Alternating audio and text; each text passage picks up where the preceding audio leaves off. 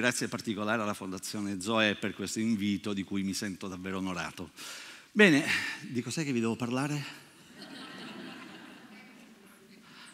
Ah sì, ok, allenare la mente. No, a volte, qualche volta capita.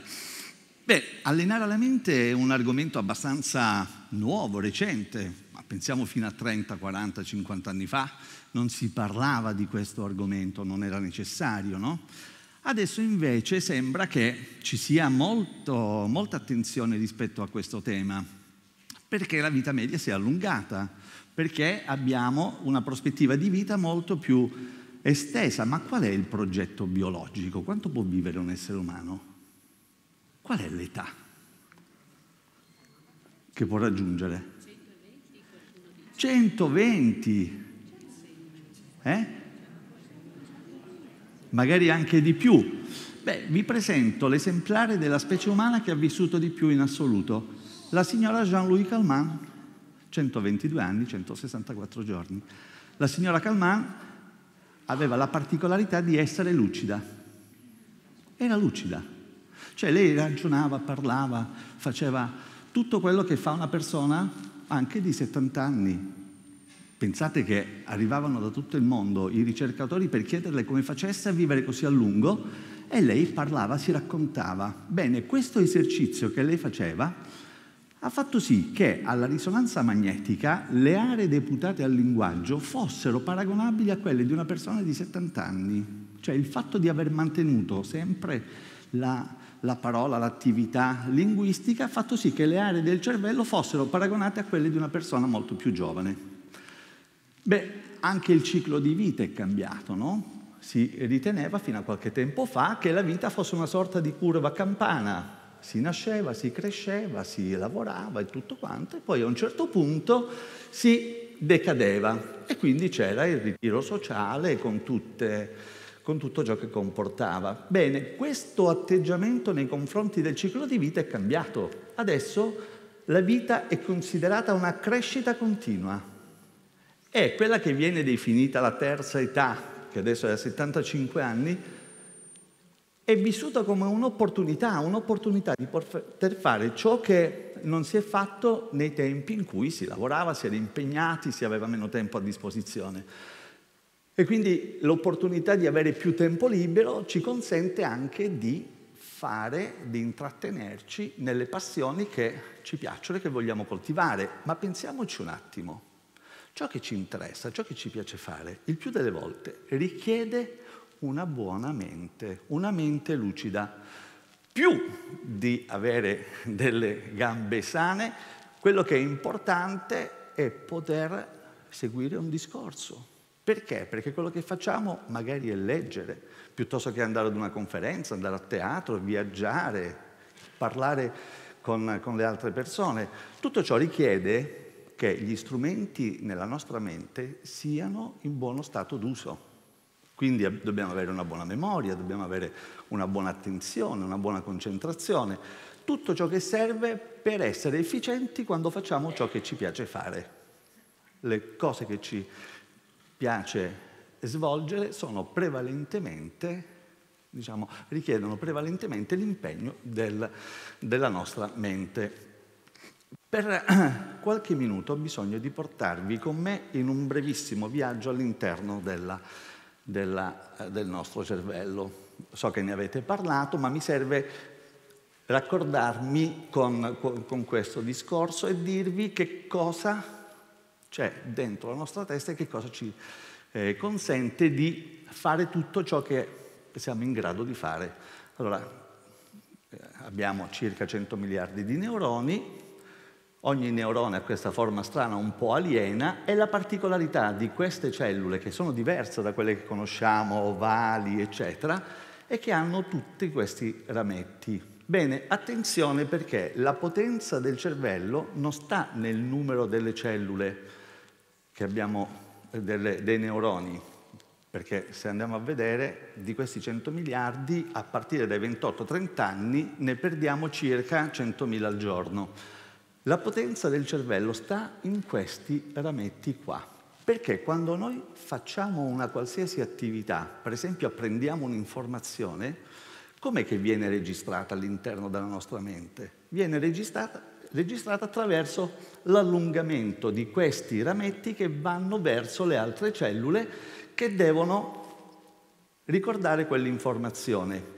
Quindi si crea un vero e proprio tessuto. Prendiamo il caso del mio cognome Iannoccari, che io ho scelto apposta per fare le conferenze. Il cognome Iannoccari quando lo si sente la prima volta, oddio, che cos'è? Poi, man mano che si, che si sente, c'è una certa familiarità, cioè le cellule che sono deputate a ricordare queste informazioni iniziano a tessere una trama, a scrivere questa informazione e quindi, come vedete giù in basso, si crea una rete, una rete eh, che eh, ricorderà poi questo cognome. Per ricordare gli annoccari servono circa 300 neuroni un bel impegno, eh? diverso da, dall'avere un cognome più comodo. Bene, e tutte le informazioni che noi abbiamo ovviamente formano un tessuto, un drappeggio molto ricco e quanto più è ricco, tante più informazioni abbiamo, tanto più se col tempo qualche filo viene meno non si vede il buco. Il problema è quando questo tessuto per pigrizia mentale non lo abbiamo alimentato sufficientemente, col passare del tempo il buco eh, diciamo, si nota di più. Che cosa succede quando, col passare del tempo? Succede che come tutto l'organismo, anche i neuroni tendono a decadere, a declinare. Per cui un conto è avere dei neuroni così, tonici, forti, che fanno bene il loro lavoro, un conto invece è avere un tessuto neurale che invece decade e purtroppo se decade il cervello fa fatica a lavorare. Come si vede in queste due immagini, queste sono delle immagini di due cervelli di due persone di 72 anni, due donne eh, coetanee, stessa scolarità, dove sulla destra c'è il cervello di una persona che è attiva, ha mantenuto sempre una certa curiosità intellettiva, si informa, ehm, sta con le persone. Dall'altra parte invece c'è un cervello che purtroppo è invecchiato male e pur avendo le due persone la stessa età, il loro modo di pensare, il loro modo di usare la mente è evidente, è completamente diverso. Bene. Questa persona rispetto a questa in più ha il fatto che è attiva, si informa, legge, cerca di apprendere nuove informazioni, eccetera. Tuttavia col passare del tempo, ovviamente l'invecchiamento eh, lusinga anche il nostro cervello, la nostra mente e quindi avvengono quegli acciacchi mentali. Gli acciacchi mentali per esempio, possono essere non ricordare il nome di una persona, oppure una data, una ricorrenza, piuttosto che uscire di casa e non ricordare se ho chiuso la porta, dove ho posato il cellulare, dove ho messo gli occhiali, ho chiuso il gas, ho ancora la concentrazione, far fatica a seguire un discorso, sto seguendo un ragionamento, a un certo punto la mia mente va per conto suo. Ragionamento, faccio fatica a far, per esempio, a trarre delle conclusioni o a fare i calcoli con il resto, oppure l'affluenza verbale, la parola sulla punta della lingua. Capita qualche volta? Sì? Ma, ma noi siamo molto furbi, siamo strategici, perché che cosa facciamo quando non ci viene la parola? Cosa diciamo al posto della parola che non viene? Cosa? Coso? Senti, vedi che ha chiamato quello che ha detto che oggi pomeriggio viene a portarti quella cosa che serve per cosare le cose. No? Cioè fila, è lineare, funziona, ma che cosa, quali sono i contenuti non si sa. La parola sulla punta della lingua. E così l'orientamento, eccetera. Insomma, tutto questo sono gli acciacchi mentali. Allora, a qualcuno capitano? Eh? qualche volta sì, capita. Beh, capitano a tutte le età, eh? capitano a 15 anni, a 20 anni, a 30, a 50, a 70, a 90. Quello che cambia è la frequenza, perché col passare del tempo aumenta di più la frequenza, è la sensibilità che noi abbiamo verso questi acciacchi. Se a 20 anni non mi viene la parola, pazienza, e eh vabbè, ah, ah, ci rido sopra e vado avanti. A 40 anni, accidenti, non mi viene la parola. A 60 anni che cosa mi sta succedendo? Quindi, ma questo è un bene, perché il fatto che noi siamo più sensibili a ciò che ci capita ci consente di trovare le risposte per mantenere una buona salute. A proposito di parola sulla punta della lingua, c'è un esercizio che viene fatto che chiede di eh, dire in 60 secondi tutte le parole che iniziano con una lettera dell'alfabeto. Volete fare la prova per vedere quante parole riuscite a fare? Allora io vi cronometro, vi do 60 secondi, ciascuno di voi nella propria mente conta quante parole riesce a dire con la lettera V, d'accordo? Pronti? Con la V, la V. Mm? 60 secondi, contate quante parole riuscite a dire. Pronti? Via. Stop. Ok, avete tenuto il conto di quante parole avete detto? Benissimo.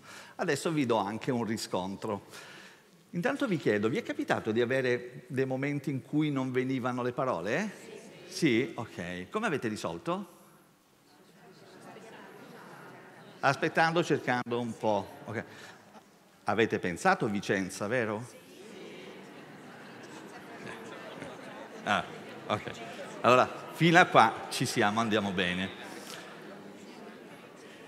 Se capita di avere quel vuoto, non viene la parola, può essere utile usare quello che io chiamo rastrello alfabetico.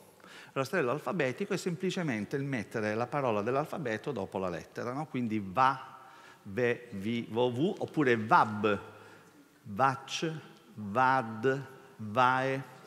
Questa strategia può essere utile anche quando non viene il nome che vorremmo ricordare, non so se vi capita, un nome di una città che abbiamo visto, di una persona, e non viene.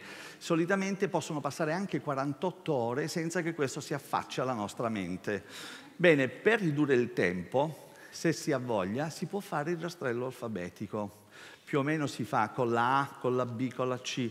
Insomma, in 10 minuti si riesce a recuperare la parola. È impegnativo, è diciamo, è, un, è, uno sforzo, però se ci si vuole eh, cimentare si può usare il rastrello alfabetico per recuperare la parola, così almeno non arriva poi di notte quando non ci serve niente, diciamo accidenti, eccolo là. Bene, allora, in base alle fasce di età ci si aspetta che una persona possa dire questo numero di parole in 60 secondi, per cui nella fascia 50-55 avreste dovuto contare almeno 22 parole. Allora, i, quelli che hanno meno di 50 anni, qualcosa in più, si arriva pure fino a 28-30. Da 56 a 50, 22, 21, 22, 61, 65, 19, 66, 70, quasi 18, 71, 75, 14, 76, 80, 12 e poi a salire qualcuna in meno. Ci siete? Vi trovate con i conti? Probabilmente avete anche fatto di più. Beh, intanto spero che nessuno abbia notato che nella tabella c'è differenza tra maschi e femmine, perché non vorrei entrare in, queste, in questi argomenti. Quello che mi interessa invece farvi notare è come col passare dei lustri decade la nostra capacità di prendere le parole. Eppure ce l'abbiamo, così come ce l'abbiamo a 50 anni, ce l'abbiamo anche a 80 anni. Eppure cambia il numero delle parole che riusciamo a prendere, a prelevare dal nostro magazzino lessicale. La stessa cosa succede per esempio anche con le notizie, con i fatti, con le cose che ascoltiamo, che leggiamo. Anche qui abbiamo una, diciamo, una caduta in base agli anni che passano. Su un brano dove mediamente ci sono 30 informazioni da ricordare, le persone over 50 ne ricordano mediamente 17 su 30.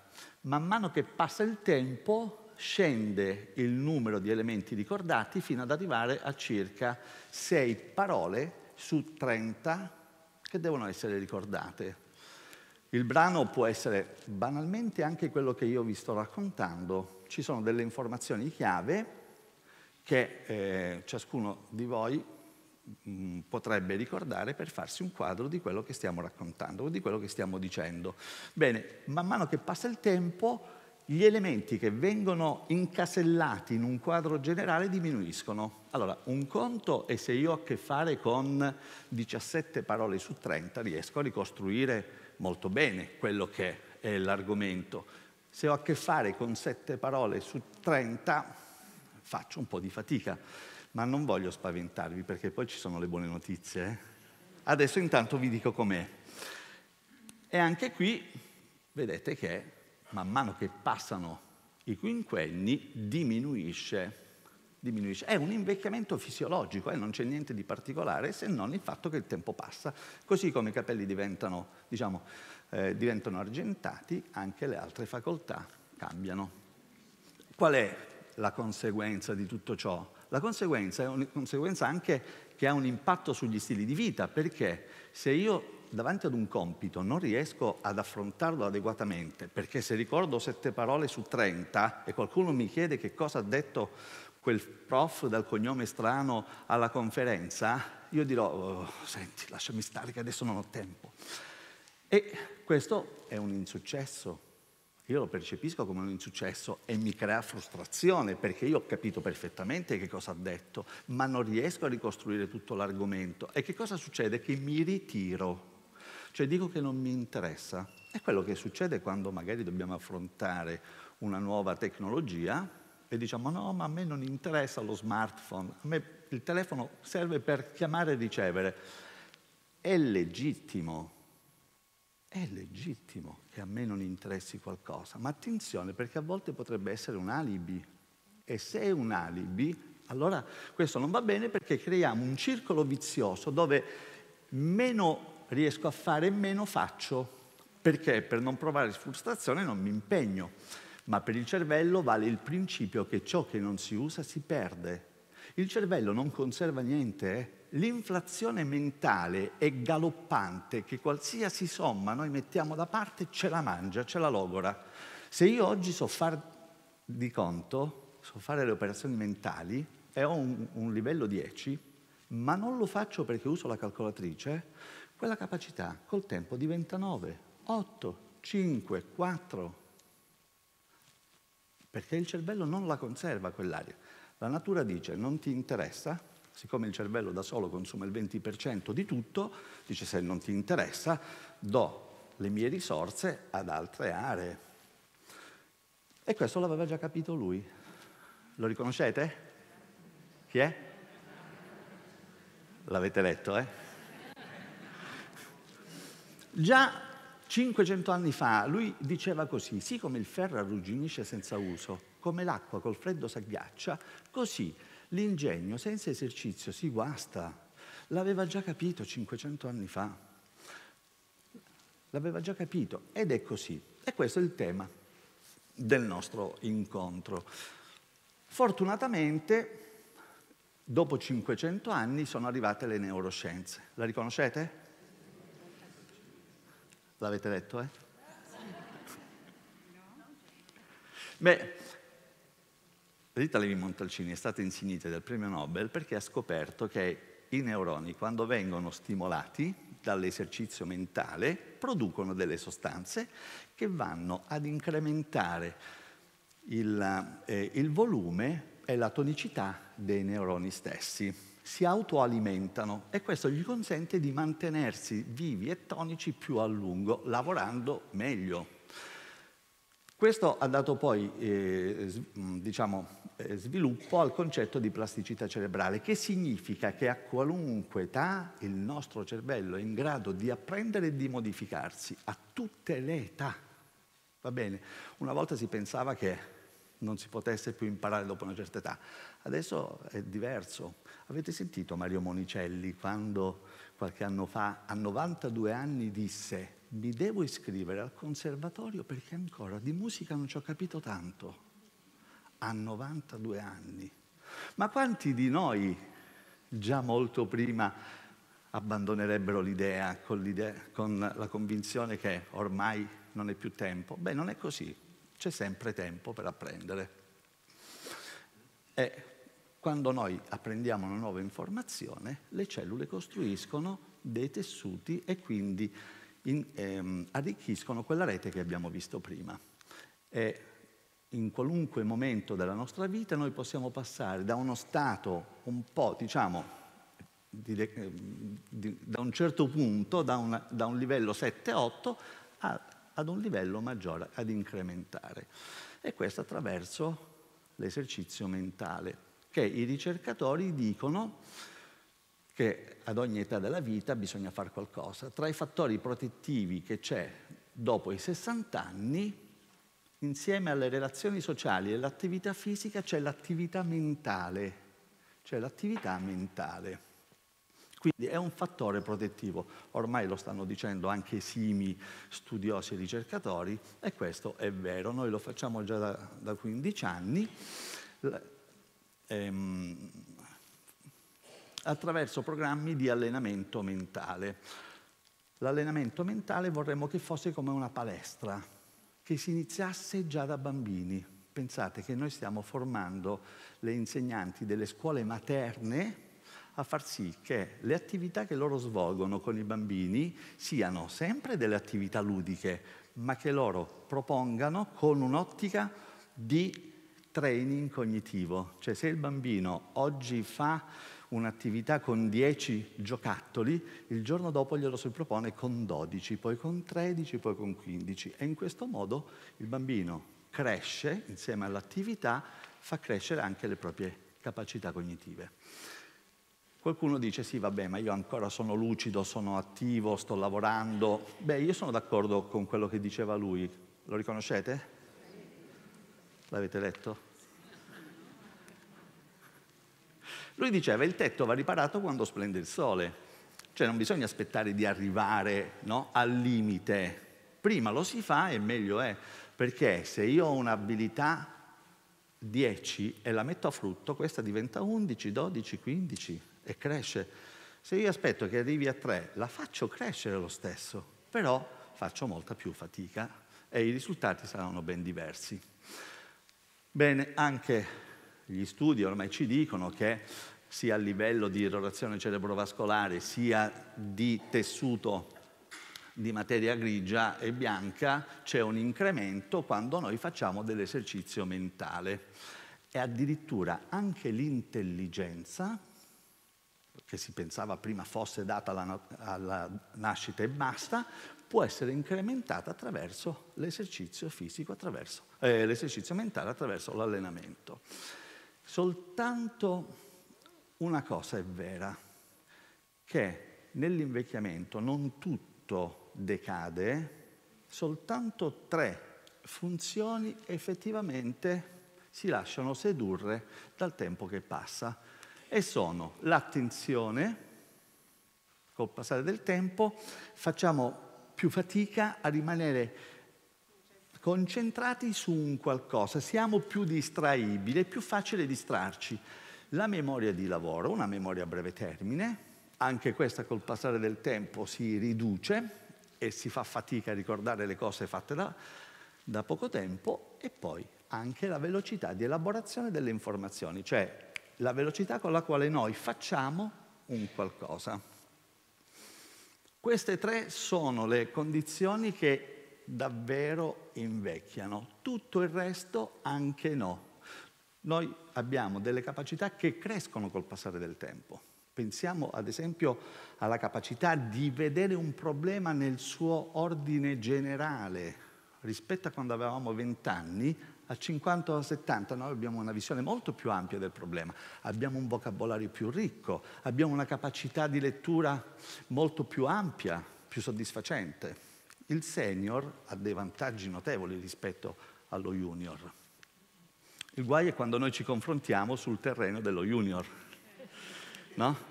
Quando vengono in ambulatorio e mi dicono ma io non ho più la memoria di quando avevo vent'anni, accidenti, avessi io le gambe di quando avevo vent'anni, però non ci si accorge che c'è un atteggiamento di magia.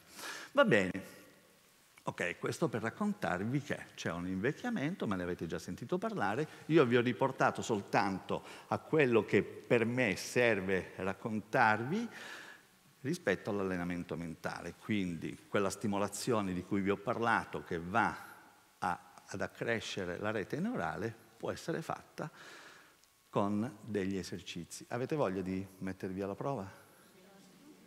Non ho sentito. Sì? sì? Va bene. Allora vi propongo qualche esercizio che serve per stimolare diverse abilità mentali. Iniziamo con un esercizio di linguaggio. Qui abbiamo tre parole, messo, vale, metro. Vi chiedo di trovare una parola soltanto di senso compiuto, una parola compiuta, che messa davanti a ciascuna di queste formi tre nuove parole. Quale potrebbe essere? Eh? È.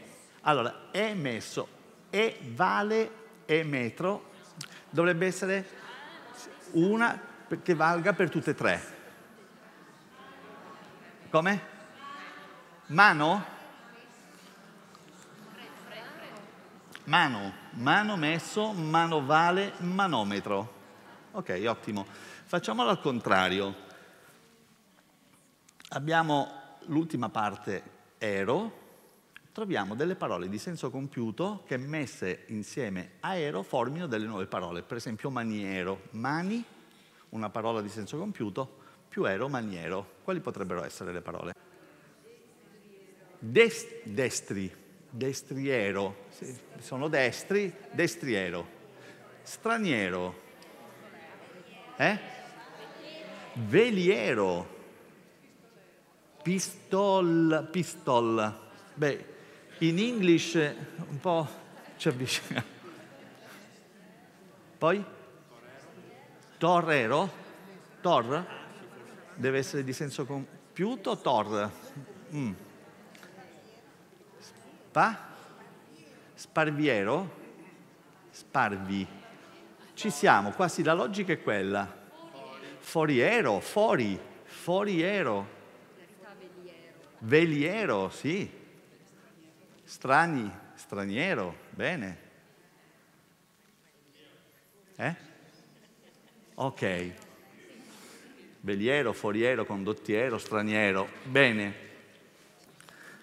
Facciamo invece un riordino di queste lettere, usiamole tutte per formare una parola di senso compiuto. Se ne avete trovata già una, ce ne sono almeno due. Eh, vanno usate tutte, eh? Carote?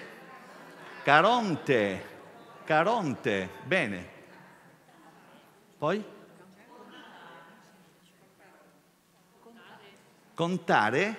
Contare. Sì? Poi? Arconte? Arconte, molto, molto 800, bello, ok. Il vaso da Eh?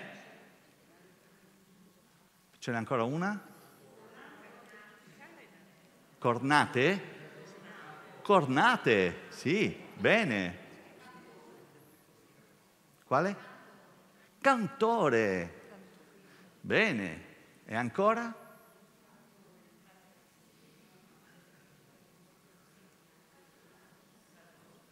Cartone. Benissimo, ok, ottimo, ottimo. All'inizio sembra che, no? si faccia, sia impegnativo trovarne, ma poi vediamo che ce ne sono tante. Come ve la cavate con i nomi associati ai volti? Tremendo? Mm. Allora, intanto la difficoltà di ricordare i nomi associati ai volti non riguarda la memoria dei nomi, perché la memoria dei nomi noi ce l'abbiamo, cioè se volessimo ricordare i nomi ne scioriniamo tranquillamente 200 senza difficoltà.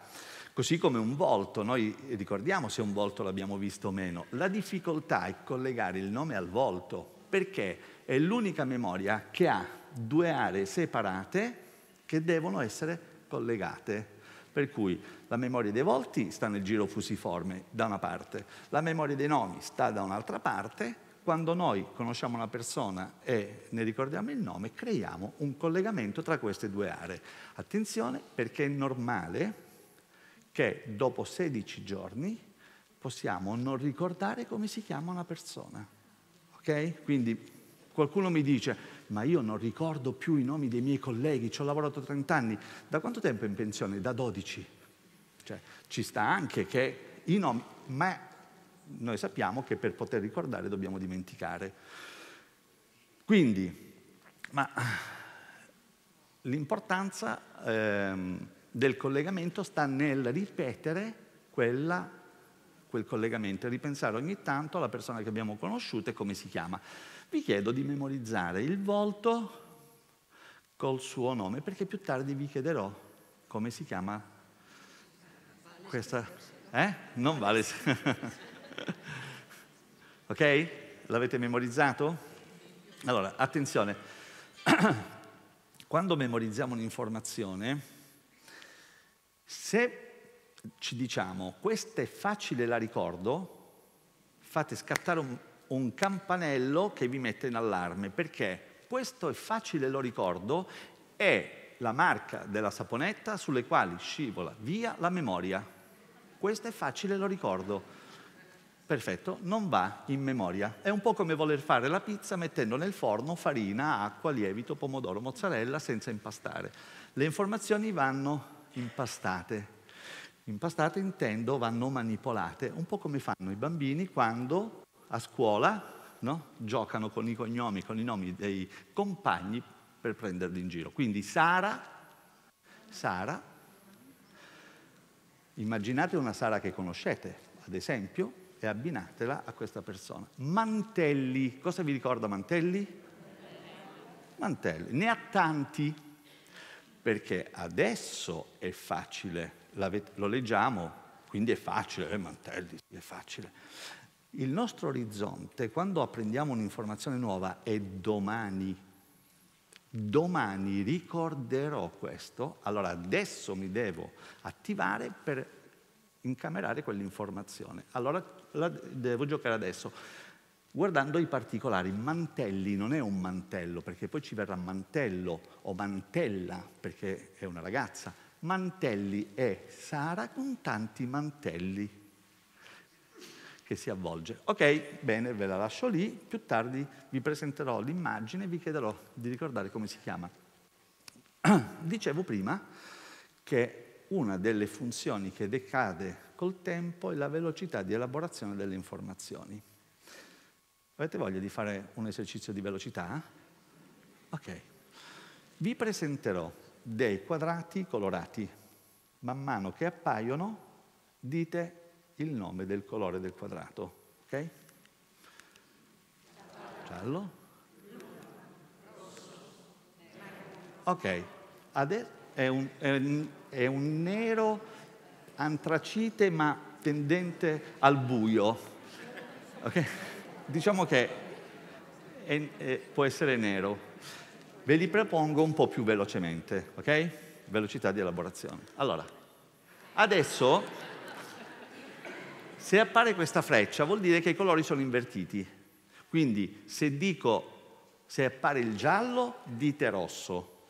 Se appare rosso, dite giallo. Se appare blu dite verde, se appare verde dite blu. Se appare un colore diverso dite eh, bianco. Questo meccanismo di dire un colore al posto di un altro chiama in causa quelli che si chiamano meccanismi inibitori, cioè io devo bloccare un'informazione che viene spontanea per dirne un'altra non so se vi capita di vedere il programma preserale con Paolo Bonolis, che si deve dire la parola eh, er-, errata, deve essere attivato questo meccanismo che col passare del tempo si indebolisce un po'. Ok, va bene. Allora, in velocità, qual è la somma di questi tre numeri? Fantastico. Li memorizzate questi per favore, ve li chiedo tra un po'?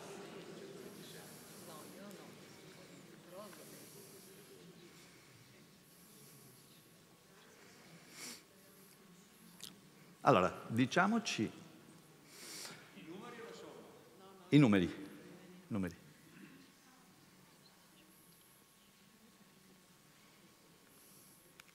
Allora, tolgo un attimo la slide. Avete usato qualche strategia per ricordarvi? Come? Come? Quale hai usato? Sì? Le differenze, ok. Bene, ed è una strategia per ricordare i numeri. Poi? Immaginato le persone con l'età, benissimo. Ok, quindi è una tecnica associativa. Poi? L'ordine, sono in ordine, perfetto. Ma come faccio io a ricordare il 18? Perché domani, il mio orizzonte è domani. Domani, chi mi dice che ricorderò il 18 anziché il 19 o il 17? Eh? Perché il 18 è il 18? A che cosa lo agganciamo? A domani, è vero, è vero, ottimo, perfetto. Oppure può essere la maggiore età, oppure può essere una data, un giorno, un numero civico, il 25 può essere Natale. Ecco, la, la tecnica associativa è molto utile e ci avvantaggia molto quando dobbiamo memorizzare delle informazioni, perché le agganciamo come se fosse proprio come se ci fosse un gancio a qualcosa che ci appartiene, che conosciamo benissimo e quindi non ci sfugge. Se restano così, senza un aggancio, allora si potrebbe dimenticare o non ricordare esattamente se è il 67 o il 68 o qualcosa del genere. Quindi agganciate sempre l'informazione a qualcosa. È il più semplice perché? ok, un aggancio che può essere utile. Allora, i numeri sono astratti, ma in realtà qualunque numero può avere un aggancio. Qualunque numero può avere un aggancio. Agganciateli, benissimo. Siete stanchi? Volete che mi fermo? Continuiamo? Ok. Eh, comunque per comunicazione abbiamo chiuso le porte, nessuno può uscire.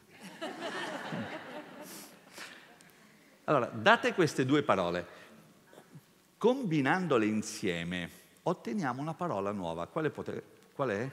Eh? Pigiama, benissimo. Aperto e gol.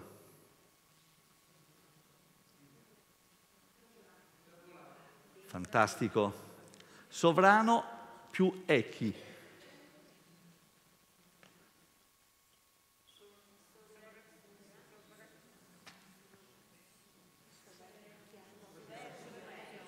So? Soverchiano. Benissimo, benissimo. Ok. Quale numero continua la serie? Cosa viene dopo il 13? Perfetto. Ogni numero è la somma dei due precedenti. Quindi 8 più 13, 21. 5 più 8, 13, 8 più 13, 21. Quale lettera viene dopo il 5? Eh? Benissimo. Quindi sono uno sì, uno no, sì, e si alternano. E quale sarebbe il numero che viene dopo la F? 7? Scusate, eh, so è troppo facile. Ok, va bene. Questi sono dei tipi di ragionamento, sono dei tipi di ragionamento dove noi cerchiamo un'euristica, cioè una logica sottostante, per poi trovare la soluzione. Altri modi di ragionare sono le stime, un'informazione che non sempre è precisa ma potrebbe essere intuita. Per esempio, quale, quanto dista la Luna dalla Terra? Quanti? 330.000. Accidenti. Ok, sì, sapevo un'informazione del genere sui 400.000, però ci riserviamo di contarli per il momento accettiamo che, la, che siano 330.000, benissimo. Se non sappiamo l'informazione facciamo una stima, cioè che cosa fa il nostro cervello? Raccoglie tutte le informazioni, tutti gli indizi che ha e si fa un'idea approssimativa. Dopodiché dice trova la soluzione. Ma ci sono anche dei ragionamenti che devono essere fatti su cose quotidiane, a quale categoria di animali appartiene lo struzzo?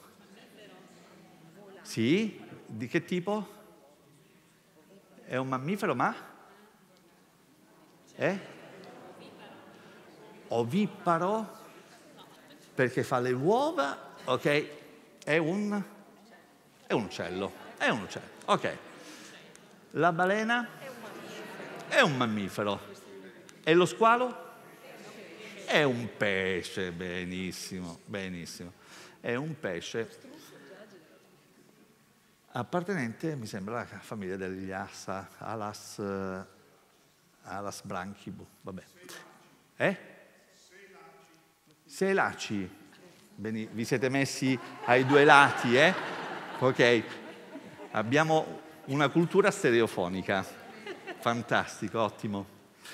Andiamo ad un ragionamento più spinto, dove insieme al ragionamento dobbiamo fare un un salto fuori dallo schema, il cosiddetto pensiero laterale, cioè trovare una risposta che non sia all'interno dello schema razionale. Come lo facciamo? Togliamo quattro fiammiferi in modo da ottenere tre quadrati. Attenzione perché non devono rimanere fiammiferi eh, sparsi, penzoloni, ok? Quali toglieremmo? Sì, in realtà è così. Qualunque altra soluzione non ci porterebbe al risultato. Per poter risolvere una questione di questo tipo è necessario uscire dallo schema e smontare la convinzione che i tre quadrati debbano essere uguali, perché la nostra mente, vedendo questo, si condiziona e presuppone che i tre quadrati debbano essere uguali. In realtà nella consegna non l'ho detto, ho soltanto invitato a trovare tre quadrati. Togliendo i quattro che siano questi o questi qua, effettivamente otteniamo tre quadrati. Attenzione perché molte volte non è il nostro modo di ragionare, ma è la nostra mente che ci tira il freno a mano e non ci fa andare avanti. Come si chiamava lei?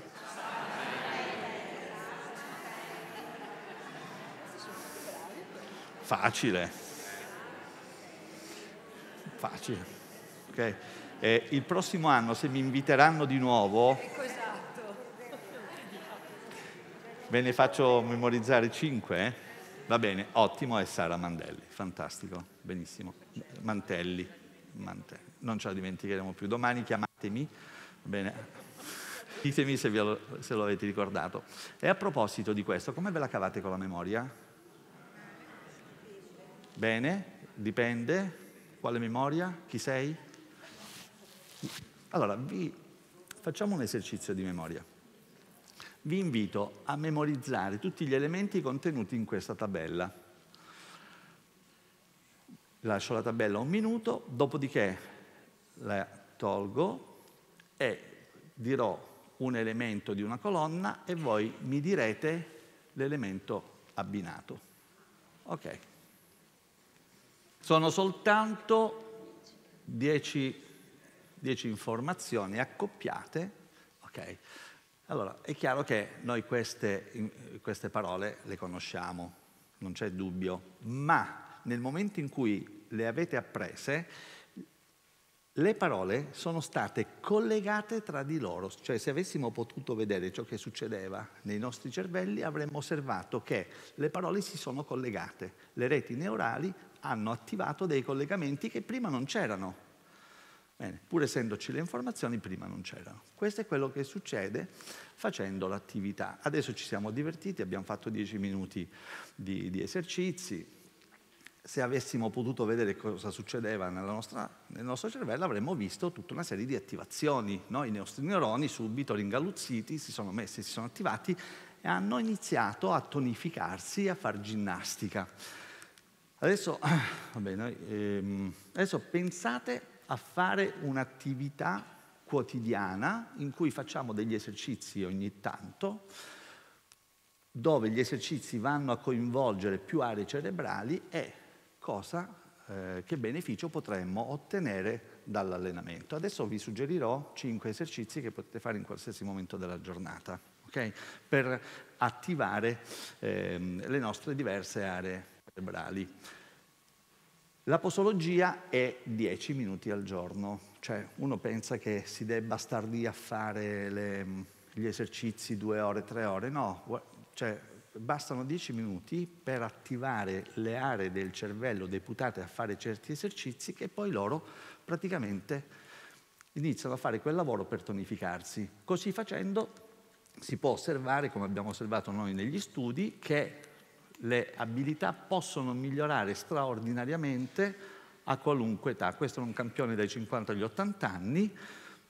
Le facoltà rispetto al gruppo di controllo sono cresciute enormemente.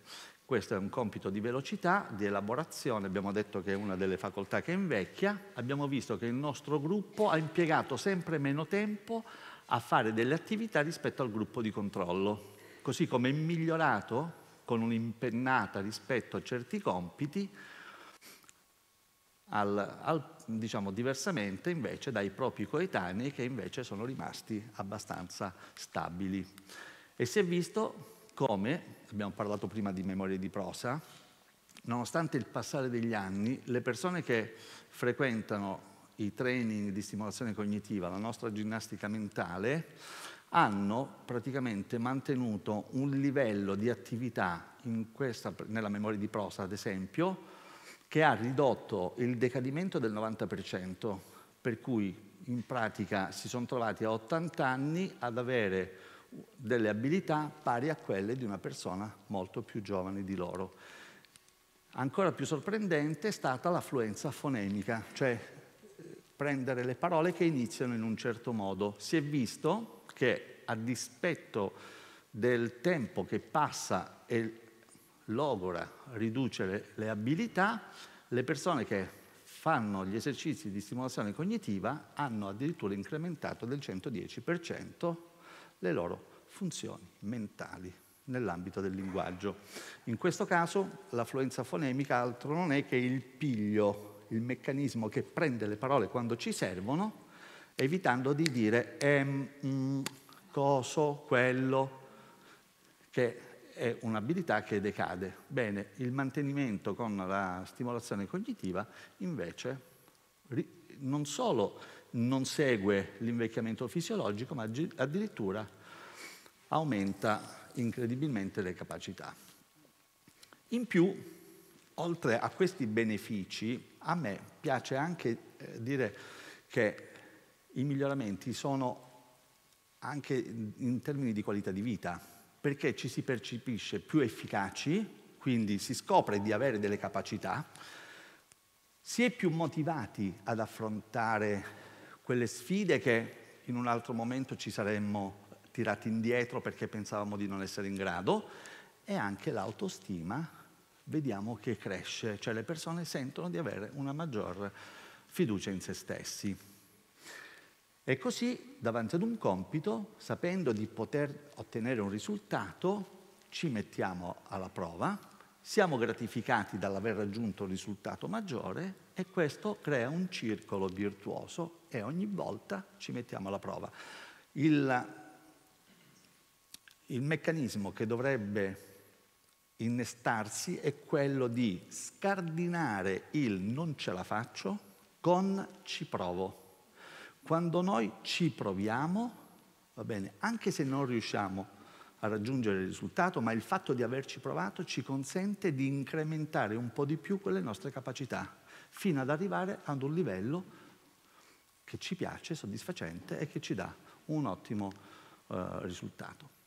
Bene, per concludere, eh, vi propongo cinque esercizi, cinque diciamo, abitudini, chiamiamole così, da acquisire durante la giornata. Allora, intanto abbiamo detto che la memoria di prosa, no? ricordare i fatti, è una di quelle che tende a diminuire col, col tempo. Allora, cosa possiamo fare? Sentiamo tante informazioni durante la giornata. Prendiamone una che ci piace, magari positiva, e troviamo tre persone alle quali ripetere questa notizia. Perché tre persone? Ve lo spiego. Perché la prima volta, allora, intanto sentire o leggere non equivale a memorizzare, comprendere non equivale a memorizzare, sono due abilità diverse. Per poter memorizzare io devo fare qualcosa, devo ripetere. Quindi se io ripeto la notizia a qualcuno la prima volta sento che non sono chiaro, mi sento goffo, non riesco a ripeterla come ce l'ho in mente, eppure la so.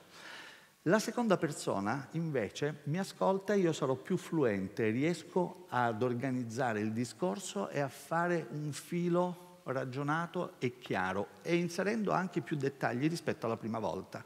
La terza volta non soltanto la, il mio eloquio sarà fluente, ma quell'informazione la manderò nella memoria a lungo termine, il che significa una notizia al giorno per 365 giorni beh, mi conservo tanta roba, ok? Voi direte, ma dove le trovo tre persone?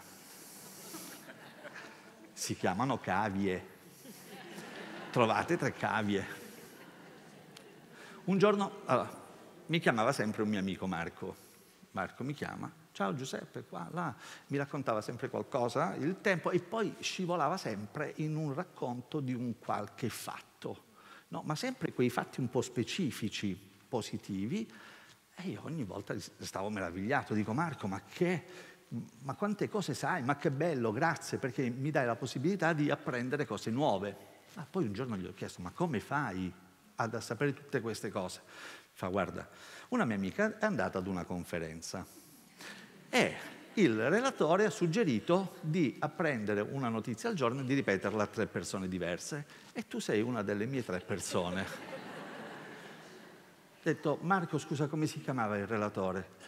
Ah, era un cognome difficile, non me l'ha saputo dire.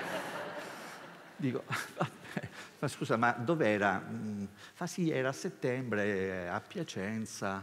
Ho capito, Marco io praticamente sono rientrato nel, nel giro del mio... Fantastico, è stato bellissimo. E quindi trovate tre persone e nel discorso fate scivolare la notizia che avete fatto. Poi, svolge attività diverse dal solito.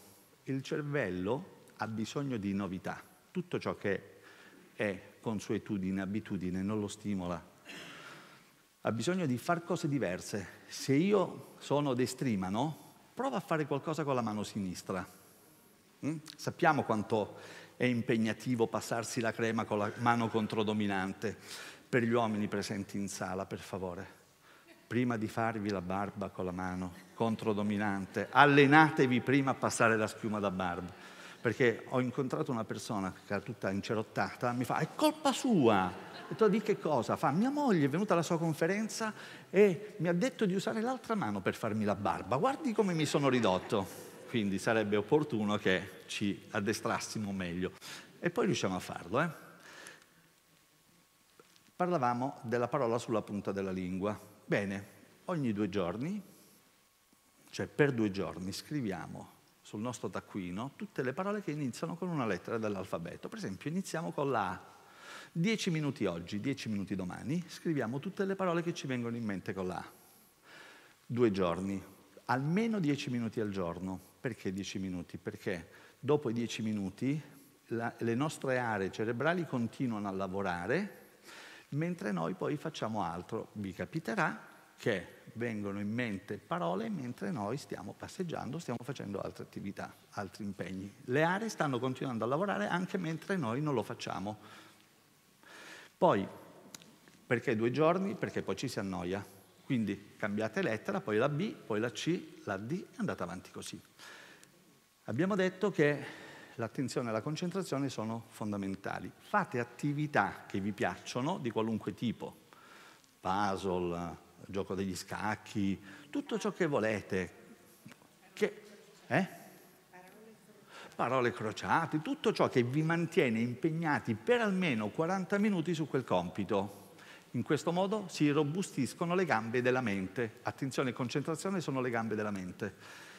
Poi, l'ultimo suggerimento che io ritengo romantico, la sera, quando si va a letto, prima di addormentarsi, per 5 minuti, 10 minuti, pensate a ciò che avete fatto durante il giorno e andate a rastrellare tutte le cose nuove che ci sono state.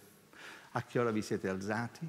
Cosa avete mangiato per colazione, siete usciti, siete andati in panetteria, chi c'era? C'era sempre Marisa, ma ce l'aveva gli occhiali oggi o no? Cioè ripercorrete la giornata, poi vi addormentate ad un certo punto, eh?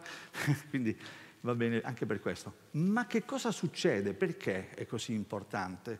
Perché tutto ciò che noi pensiamo prima di andare a dormire, durante la notte poi si sedimenta, si rinforza, si salda nella nostra memoria, perché il cervello ha ricevuto l'ordine che quello ci interessa e quindi li conserva, conserva quelle informazioni. L'indomani io avrò conservato le, i fatti della giornata precedente e giorno dopo giorno io mi faccio come gli strati geologici, no? Mi ricordo sempre qualcosa in più delle mie giornate e se anche gli anni passano, bene, non dico sono volati via in un attimo perché di ogni giorno ricordo qualcosa. Non pensate a cosa fare domani, pensate a che cosa avete fatto il giorno stesso. Domani arriverà, ci si penserà l'indomani. Se il giorno prima avete incontrato la signora Anna, avete conosciuto la signora Anna al mercato, e poi la sera ripensate, ah la signora si chiamava Anna, ok, il nome poi lo ricorderete. Il giorno dopo rincontrate Anna, buongiorno Anna, lei che non era alla conferenza stasera, quando vi vedrà dirà, accidenti come si chiama?